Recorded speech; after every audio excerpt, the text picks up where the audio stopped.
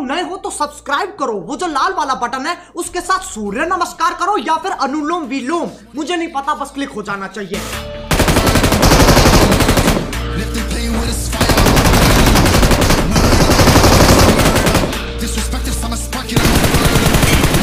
I'll be lurking, I'll